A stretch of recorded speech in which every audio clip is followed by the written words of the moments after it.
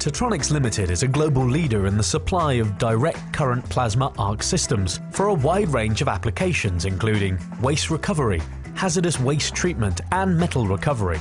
Tetronics capabilities encompass everything from initial testing of the process material through to design, supply, installation, commissioning and ongoing support of full commercial plants.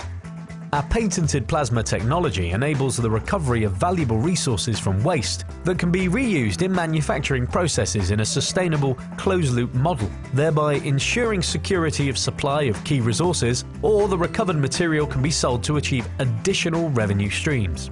Companies can rest assured that by using Tetronics plasma systems, they can future-proof their waste management practices, particularly when compared to the escalating cost and unknown future availability of the alternatives. So how do we do it? Our sustainable green alternative for waste management uses ultra-high temperatures and functional light to melt, gasify or vaporize any waste material in order to treat, recover or generate valuable commercial products.